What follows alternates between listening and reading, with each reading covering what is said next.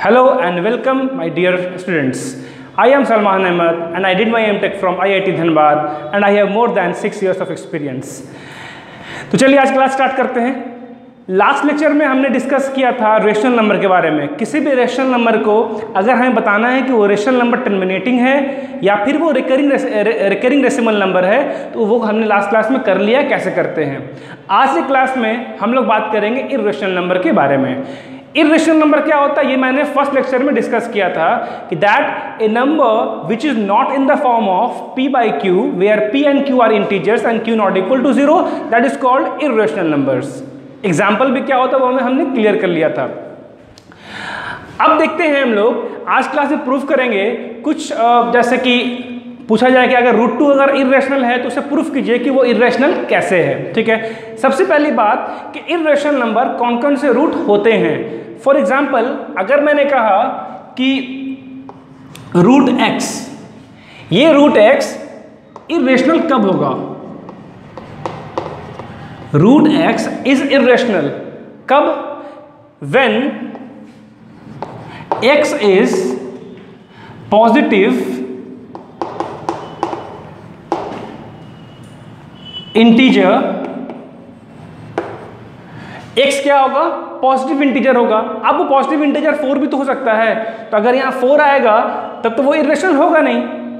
तो मैंने क्या बोला कि x इज़ पॉजिटिव इंटीजर उसका फॉर्म कैसा होगा? तो याद रखना कि वो पॉजिटिव इंटीजर जिसका परफेक्ट स्क्वायर नहीं बनता हो, वो पॉजिटिव इंटीजर यहाँ पर होगा जो परफेक्ट स्क्वायर ना हो, अगर वो नंबर यहाँ पर रहेगा तो वो रूट समथिंग इरेशनल बन जाएगा। फॉर एग्ज़ाम्पल मैंने क्या बोला? When x is positive integer which is not perfect square perfect square नहीं होना चाहिए। रूट के अंदर अगर परफेक्ट स्क्वायर होगा तो वो इरेशनल नहीं, वो रेशनल बन जाएगा। ठीक है? अगर परफेक्ट स्क्वायर नहीं हुआ तो जो भी अंदर पुट करेंगे नंबर वो सारे रूट जो होंगे, वो हमारे इरेशनल नंबर होंगे। For example under root two two is not a perfect square under root three three is not a perfect square under root four four जो होता है, वो परफेक्ट स्क्वायर होता है। किसका होता है वो? टू का परफेक्ट स्क्वायर होता है। ठीक है? टू का स्क्वायर करने पर फोर आएगा। तो under root five under root six under root seven under root eight under root nine nine is the perfect square three का दैट्स दैट्स मीन कि रूट नाइन में तुम्हारा नहीं होगा। रूट टेन रूट इलेवन इस तरह से हो जाएगा। तो सिंपल से बात है कि रूट के अंदर अगर कोई पॉजिटिव इंटीजर है, जो कि परफेक्ट स्क्वायर नहीं है, जो कि परफेक्ट स्क्वायर नहीं है तो हम कहेंगे कि वो रूट एक्स जो रूट की वैल्यू होगी, वो इरेशनल नंबर होगी और यहाँ पर हम उसी को यूज़ करने वाले हैं। ये तो बेसिक चीज़ हुआ इरेशनल का। ठीक है?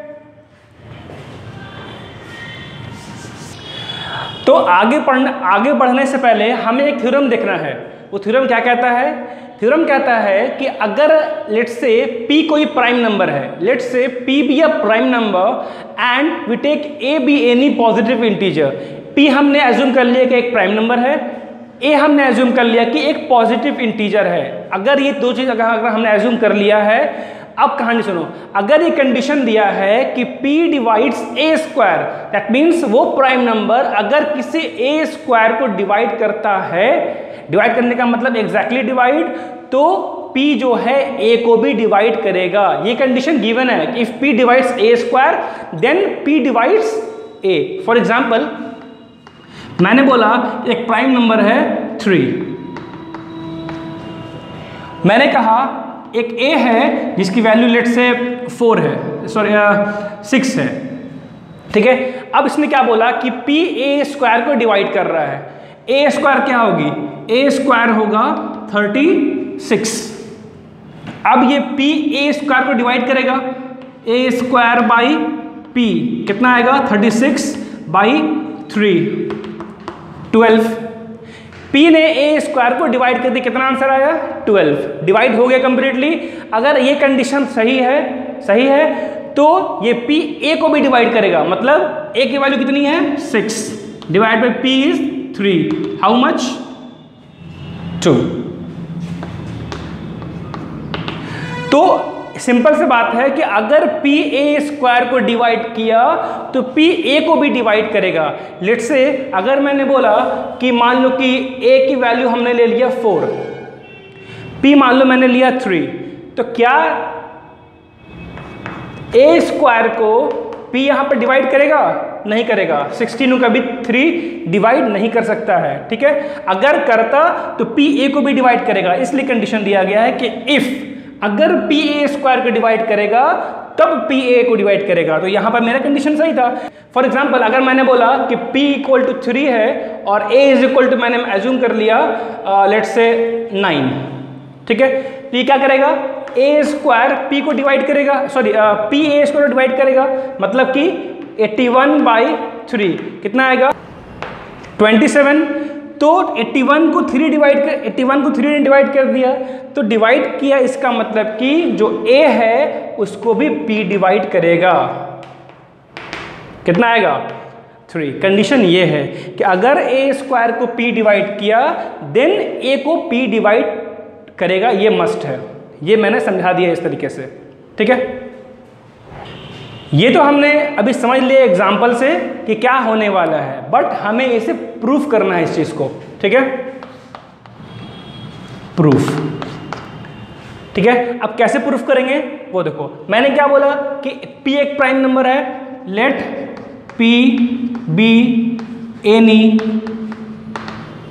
prime number और क्या बोला गया? And a be any positive integer condition क्या है? कंडीशन है such that p divides a square ठीक है? ए पॉजिटिव इंटीजर नेगेटिव नहीं हो सकता है. P जो है, वो ए स्क्वायर को डिवाइड कर रहा है. ये मेरा कंडीशन दिया हुआ है. अब कैसे प्रूफ करेंगे? यहाँ सिंपल सा बात यह है कि बोला गया कि पी ए स्क्वायर का डिवाइड कर रहा है, ठीक है? ये बताओ कि यहाँ पर एक कोई पॉजिटिव इंटीजर है? हमने एक थ्योरम पढ़ा था फंडामेंटल थ्योरम ऑफ़ अरिथमेटिक उसमें कहा गया था कि किसी भी एक इंटीजर को, किसी भी एक इंटीजर को हम प्राइम फैक्टर्स के टर्म में लिख सकते हैं। ये हमने पढ़ा था कि we can write any composite number या any positive integer in terms of prime factors ये हमने पढ़ा था। तो इसको यहाँ पर यूज़ कर लेते हैं using fundamental theorem of arithmetic क्या बोलेगा? कि ए का ए को कुछ ए का कुछ फैक्टर्स होगा प्राइम फैक्टर्स क्या होगा? मुझे इस नंबर के बारे में पता नहीं है बट ये पता है कि इसका कुछ प्राइम फैक्टर्स आएगा, ये पक्की बात पता है, ठीक है? तो लेट से मैंने बोल दिया कि P1 P2 P3 P4 up to p N अब मुझे जब इस नंबर के बारे में पता नहीं कि वो नंबर कितना बड़ा है या कौन सा नंबर है तो प्राइम फैक्टर्स क्या आएँगे मुझे उसके बारे में पता नहीं है। तो हमने एज्यूम कर लिया कि let say p one p two p three up to p n ये इसके फैक्टर्स होंगे। ठीक है? अब एक बात और है किसी भी नंबर का फैक्टर हो सकता है कि उसमें कोई प्राइम नंबर जो है वो रिपीट करता हो like two two three three इस तरह से रिपीट कर सकता है। तो मैं ये ये कह सकता हूँ कि जो हमने p one p two p three p n लिया है, वो ज़रूरी नहीं है कि वो डिस्टिंक्ट हो। ज़रूरी नहीं है कि वो सारा प्राइम नंबर्स अलग ही हो। वो सेम भी हो सकता है। ठीक है? चलो वे p one p two p three up to p n be prime numbers which are not necessarily distinct. मैंने क्यों लिख दिया? कि ये जो प्राइम नंबर्स लिखा है हमने जो प्राइम फैक्टर्स है P1, P2, P3, P4 वो सब डिस्टिंक्ट ज़रूरी नहीं है कि डिस्टिंक्ट डिस्टिंक्ट का मतलब होता है एकदम अलग। हो सकता है कि रिपीट कर रहा हो। नहीं हो सकता है। फॉर एग्ज़ाम्पल अगर मैं बात करूँ ट्वेंटी फोर का, क्या क्या आता है इसका प्राइम फैक्टर्स टू आएगा। टू टू टू थ्री ये चारों इसके प्राइम फैक्टर्स आएँगे, ठीक है? इसमें टू रिपीट कर रहा है ना? तो वही मैं कहना चाह रहा था कि हो सकता है कि रिपीट कर भी जाए और ना करे, इसलिए मैंने बोला कि which are not necessarily distinct ज़रूरी नहीं है कि वो अलग ही हो, ठीक है? नेक्स्ट अब बात यह है कि ये तो कहा कि ए का ये प्राइम फैक्टर्स आ गया P1, P2, P3, P4 ये ए का आ चुका है मेरे पास. नेक्स्ट यहाँ बात हुआ था कि गिवन क्या है? गिवन मुझे है ए स्क्वायर को पी डिवाइड कर रहा है. अभी मेरे पास ए है तो पहले इसका ए स्क्वायर निकालते हैं. ए स्क्वायर का मतलब हो गया कि जो भी चीज़ें ए की हैं उसको दोबारा मल्टीप्लाई किया जाए. इसका मतलब क्या हुआ? P1, P2, P3, P4 up to Pn को एक बार और मल्टीप्लाई किया जाए किससे? फैक्टर सिस्टम में P1, P2, P3, P4, Pn ठीक है? इसका हमने प्राइम फैक्टर्स लिख दिया है मल्टीपल के ये सारे प्रोडक्ट के फॉर्म में है। ठीक है? अब ए स्क्वायर अब क्या करेंगे? इन दोनों का मल्टीप्लाई कर देंगे।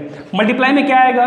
P1 one into p one p one square p two into p two p two square p three square p four square up to p n square ये किसका आ गया? ये आ गया ए स्क्वायर का, कि ए स्क्वायर के हमने बता दिया कि ए तो ये हमारा था प्राइम फैक्टर्स प्राइम फैक्टर के प्रोडक्ट में था।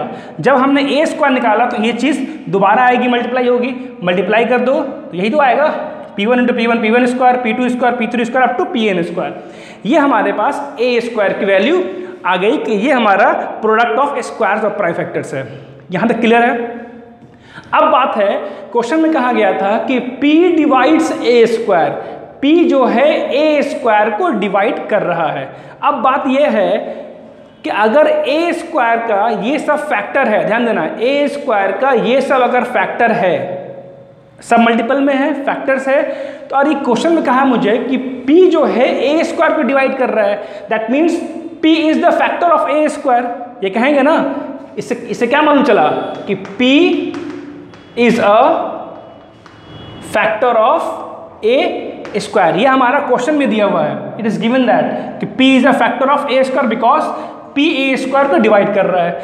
अब अगर पी ए स्क्वायर का फैक्टर है और हमने बताया कि ए स्क्वायर में ये सारे फैक्टर्स इसके हैं तो ये हम कह सकते हैं कि P is one of them P इनमें से कोई एक तो होगा ही होगा ये तो पक्की बात है।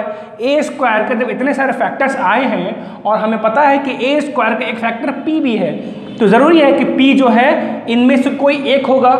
ये हम कह सकते हैं इसलिए we can write as P is one of what?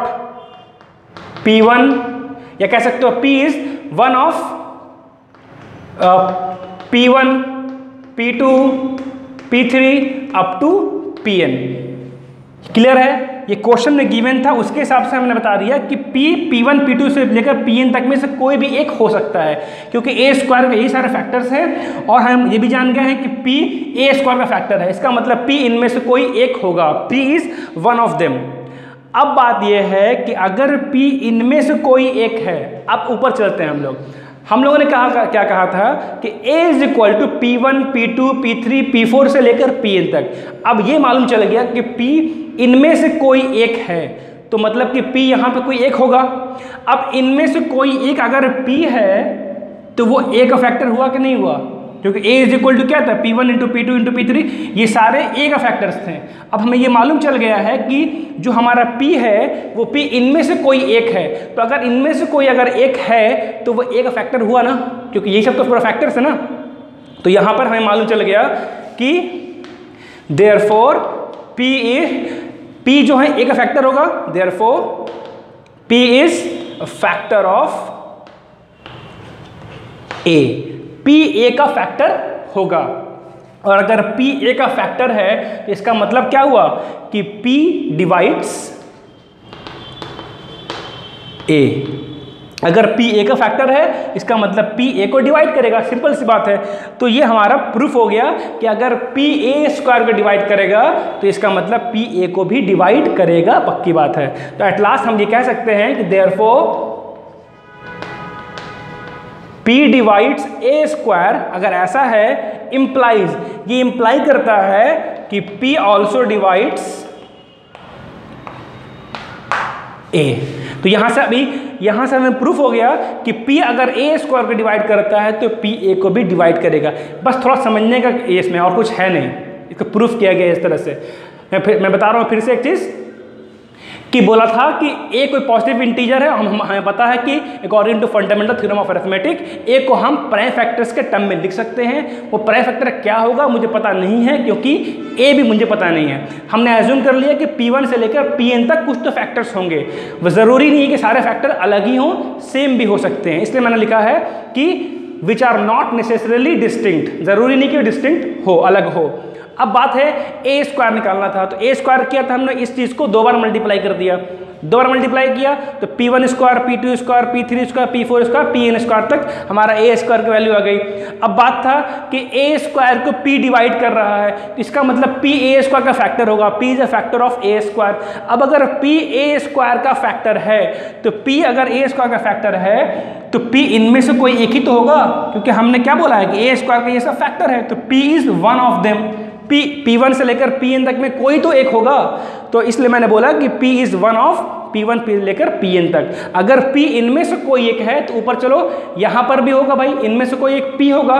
तो अगर पी इनमें से कोई एक है तो वो क्या है? ए का फैक्टर है। इसका मतलब पी ए को भी क्या करेगा? पी ए का भी फैक्टर होगा। इसलिए पी ए को डिवाइड कर दिया।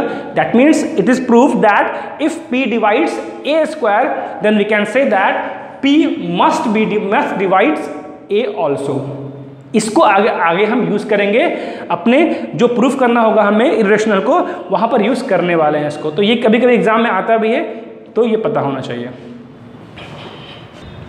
सो so, हमारा इसके बाद जो सबसे बेसिक क्वेश्चन है वो है prove that root two is irrational ये हमें पता है कि रूट टू इरेशनल होता है लेकिन हमें इसे प्रूफ करना है कि रूट टू इरेशनल होगा। तो स्टार्ट कैसे करेंगे हम? सबसे पहले काम करते हैं कि देखो रियल नंबर दो ही तरह के हैं, या तो रेशनल या तो इरेशनल अगर कोई नंबर रेशनल नहीं है तो वो इरेशनल होगा। और अगर कोई कोई नंबर इरेशनल नहीं है तो पक्की बात है कि इरेशनल दो ही फॉर्म तो है। एक होगा, दूसरा नहीं होगा। तो यहाँ अगर प्रूफ करना है कि ये नंबर इरेशनल है तो एक काम करते हैं, हम लोग एज्यूम कर लेते हैं कि रूट टू जो है मेरा रेशनल है, और उसको हम ट्राई करते हैं प्रूफ करने का कि जो हमने एज्यूम किया है रूट टू रेशनल वो रॉन्ग है।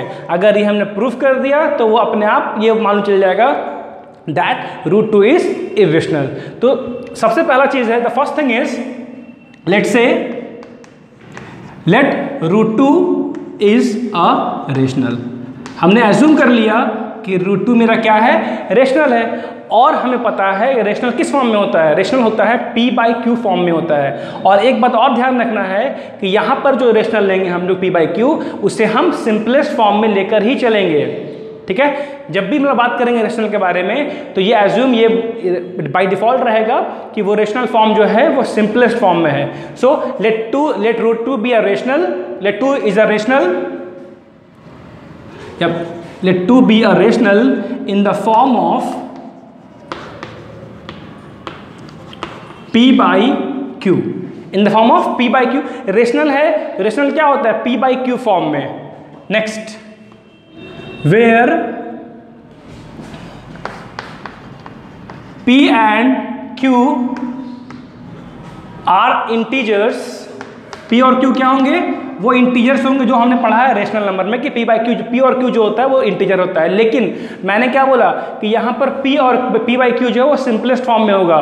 सो so, P और Q अगर पी बाई क्यू का सिंपलेस्ट फॉर्म में है इसका मतलब इन दोनों का जो एस सी एफ़ होगा हाईएस्ट कॉमन फैक्टर वो कितना होगा? वो सिर्फ़ वन होगा। That means P and Q are coprimes तो मैंने क्या बोला कि let aware P and Q are integers and are coprimes coprimes का मतलब होता है, दो नंबर को प्राइम तब होते हैं जब दोनों का एस वन हो जाए। और जब मैंने बोला कि दोनों सिंपलेस्ट फॉर्म में है, ये ए पी बाई क्यू तो दोनों का एस वन होगा that means both are coprimes and Q not equal to zero ये तो कंडीशन होता है कि डिनोमीटर ज़ीरो नहीं हो सकता है। तो हमने एज्यूम कर लिया कि रूट टू मेरा पी बाई क्यू फॉर्म में है। दोनों, ये दो, ये जो पी बाई क्यू फॉर्म है सिंपलेस्ट फॉर्म है। ध्यान रखना, सिर्फ़ वन ही फैक्टर हो सकता है, और कोई फैक्टर नहीं होगा।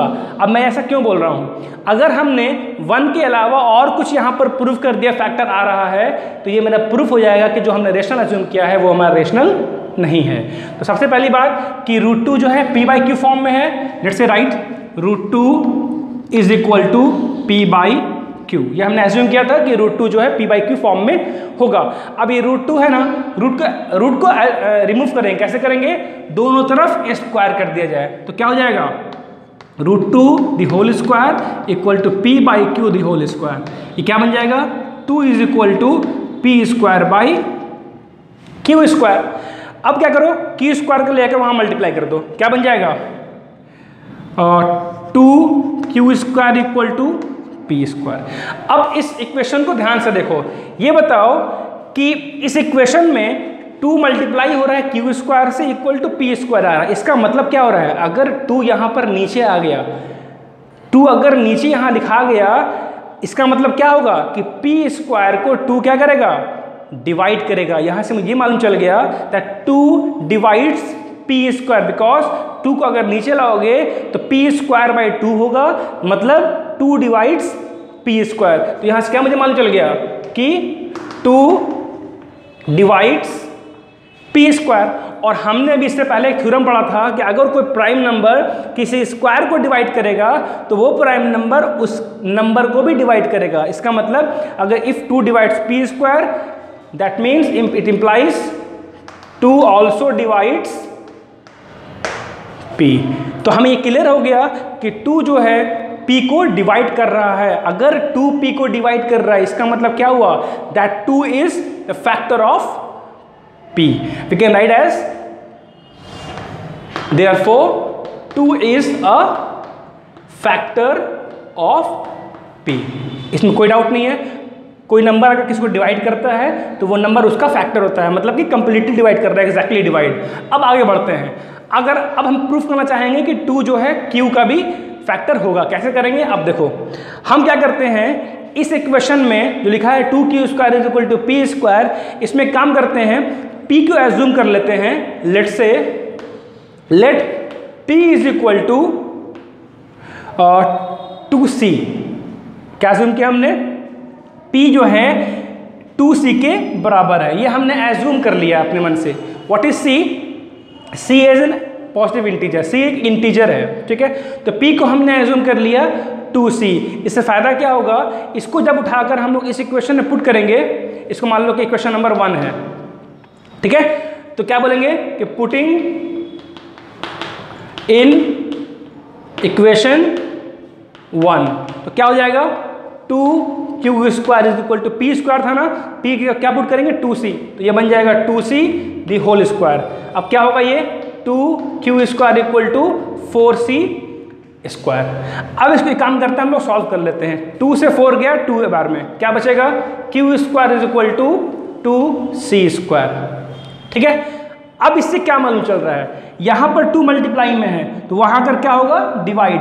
मतलब क्यू स्क्वायर बाई टू। और जब किसी नंबर को टू अगर डिवाइड कर रहा है, इससे क्या मालूम चल गया हमें? That two divides Q square और अगर कोई नंबर किसी के स्क्वायर को डिवाइड कर रहा है तो वो नंबर उसको भी डिवाइड करेगा। That means it implies two divides Q और अगर ऐसा है कि टू क्यू को डिवाइड कर रहा है तो हम ये कह सकते हैं कि two is a factor of Q therefore two is a factor of Q तो हमें दो चीज़ मिल गया। पहला चीज़ टू पी का भी फैक्टर था और टू क्यू का भी फैक्टर है। तो हमने जो एज्यूम किया था कि that P and Q are coprime that means इन दोनों का फैक्टर सिर्फ़ वन ही होना था। लेकिन हमें क्या मिल गया कि पी और क्यू का एक और फैक्टर है, वो क्या है? टू। तो जब एक और फैक्टर मिल गया तो क्या वो रेशनल रहा? तो वो रेशनल नहीं रहा। तो हम क्या कह सकते हैं कि दिस कॉन्ट्राडिक्स जो हमने एज्यूम किया था उसको कॉन्ट्राडिक्ट कर दिया। This contradicts the fact that 2 is rational क्या किया? इस, ये चीज़ जो है, जो हमने प्रूफ किया है अभी, ये कॉन्ट्राडिक्ट करता है उस फैक्ट को कि जो टू रेशनल था, जो हमने टू एज्यूम रेशनल किया था, इस फैक्ट को वो कॉन्ट्राडिक्ट कर रहा है। इसका मतलब बोल सकते हैं therefore root two is irrational तो हम कह सकते हैं कि रूट टू क्या होगा? इरेशनल होगा। ठीक है? एक बार समझ लो बढ़िया से कि P बाई क्यू एक सिंपलेस्ट फॉर्म में था, जहाँ पर P और Q जो था, वो को प्राइम था दैट मीन्स सिर्फ़ एस सी एफ़ वन आएगा, ठीक है? तो जब रूट टू को हमने पी बाई क्यू फॉर्म में लिखा तो उसको यहाँ पर हमने लिख लिया है root two is equal to P by Q root two को रिमूव किया स्क्वायर करके two is equal to P square by Q square Q square को यहाँ लेकर मल्टीप्लाई किया तो two square Q square is equal to P square ठीक है? इस ये क्वेश्चन क्या बता रहा है कि टू अगर नीचे लाओगे तो क्या करेगा? टू पी स्क्वायर को डिवाइड करेगा, और जब टू पी स्क्वायर को डिवाइड करेगा तो टू पी को भी डिवाइड करेगा, ये हमने ऑलरेडी थ्योरम में देख लिया है। नेक्स्ट क्या किया हमने? कि जब टू पी को डिवाइड कर रहा है that means two is a factor of P आगे बढ़ते हैं। अब क्यू के लिए करना था तो हमने क्या किया? इस इक्वेशन में पी को एज्यूम पी की इंटीजर है। हमने एज्यूम कर लिया पी को टू सी के बराबर एज्यूम कर लिया। फ़ायदा क्या होगा? जब हमने पी को, देखो तो पी भी एक इंटीजर है और सी भी एक इंटीजर है। तो पी इक्वल टू सी हम एज्यूम कर कर सकते हैं। एज्यूम किया हमने सिर्फ़। फिर क्या किया हमने? P इक्वल टू सी उठाकर इस इक्वेशन में पुट कर दिया। तो क्या हो गया? Two Q square is equal to two C का whole square that means four C square और जब इसको सॉल्व किया तो टू से टू गया टू से फोर गया टू टू बार में तो Q square equal to C square अब टू यहाँ मल्टीप्लाई में दैट मीन्स टू यहाँ अगर डिवाइड होगा तो Q square by two that means two Q square को डिवाइड करेगा। तो two divides Q square and if two divides Q square by using theorem we can say that two divides Q और जब two Q को divide करेगा that means two is a factor of Q अब P और Q का two एक और factor आ गया, वो कौन है? टू है। और हमने एज्यूम किया था कि हमारा P by Q simplest form में है दैट मीन्स फैक्टर सिर्फ़ वन आएगा। तो यहाँ पर जो हमने एज्यूम किया था, वो फैक्ट कॉन्ट्राडिक्ट कर गया this contradicts the fact that two is two is sorry root two is rational therefore root two क्या हो जाएगा? रेशनल हो जाएगा। ये इसका कंप्लीटली प्रूफ है। देख के देख के बढ़िया से समझ जाओ। So our next question is prove that root 11 is irrational अब हमने सीधा 11 पे क्यों पहुँच गए? तो अभी पैटर्न मालूम चल जाएगा कि रूट टू जिससे जैसे प्रूफ किया हमने रूट इलेवन वैसे ही प्रूफ करेंगे और कोई भी नंबर हो root three root five root seven वो सारा चीज़ वैसे ही प्रूफ होगा। तो इसको मैं एक बार प्रूफ करके दिखा देता हूँ, ठीक है? सबसे पहला चीज़, हमने क्या एज्यूम किया था? हमने एज्यूम किया था कि अगर इसे इरेशनल प्रूफ करना है तो पहले इसे रेशनल एज्यूम कर लेते हैं। तो क्या करेंगे? लेट रूट इलेवन बी और रेशनल और अगर ये रेशनल है, इसका फॉर्म क्या होगा? पी बाई क्यू एक काम करते हैं इन द फॉर्म ऑफ़ अब लोग बोलेंगे कि भाई सर बारह पी बाई क्यू यूज़ कर रहे हैं। एक काम करते हैं, इसको एज्यूम कर लेते हैं ए बाई बी कोई प्रॉब्लम नहीं है। कुछ भी यूज़ करो। तो let root eleven be a rational number in the form of a by b where मैंने बताया था कि हम लोग सिंपलेस्ट फॉर्म लेते हैं रेशनल नंबर में। तो a by a by b जो है, क्या होगा वहाँ पर? Where a and b are co primes co prime का मतलब वो इंटीजर है। And q not equal to zero. Co prime का मतलब हुआ कि S C F will be one. S C F one ही होगा। अब क्या करेंगे? रूट इलेवन का मैंने बोला ए बाई बी फॉर्म में। क्या करेंगे? स्क्वायरिंग कर लो तो क्या बन जाएगा ये? इलेवन इधर क्या बन जाएगा? A square by b square वहाँ लेकर मल्टीप्लाई करेंगे क्या हो जाएगा? Eleven into b square is equal to a square अब अगर इलेवन को नीचे लेकर आएँगे तो इससे क्या मालूम चलेगा? A square by eleven that means eleven a square को डिवाइड कर रहा है। तो यहाँ से क्या मालूम चल गया? इलेवन डिवाइड्स ए स्क्वायर और ये सिंपल क्या करता है? सिंप्लीफाई हमारा थ्योरम कहता है कि 11 also divides a 11 divides a और अगर 11 ए को डिवाइड कर रहा है इसका मतलब 11 ए का फैक्टर होगा तभी तो डिवाइड किया। कोई भी चीज़ किसी को अगर डिवाइड करता है एग्जैक्टली exactly, इसका मतलब वो उसका फैक्टर होता है। तो therefore eleven is a factor of a इसको हम लोग एज्यूम कर लेते हैं क्वेश्चन नंबर वन तो एक तो आ गया कि ए का इलेवन फैक्टर होगा। अब हमें प्रूफ करना है कि बी का भी फैक्टर इलेवन होगा। कैसे करेंगे? हम क्या करेंगे? लेट एज्यूम कर लेते हैं ए को अब इलेवन सी के बराबर लगते हैं। क्यों? ये एक पैटर्न समझो। अगर हम 11 लेंगे यहाँ पर तो 11 का स्क्वायर क्या होगा? 121 और 11 से कितने बार हो जाएगा 121 11 बार में तो फिर से हमें 11 मिल जाएगा। तो जो भी नंबर प्रूफ करना होगा इरेशनल उसी नंबर को यहाँ पर एज्यूम करेंगे। तब हमारा इजिली वो प्रूफ हो जाएगा। तो अब क्या उठा के इसको पुट करो? Putting in equation one. क्या हो जाएगा?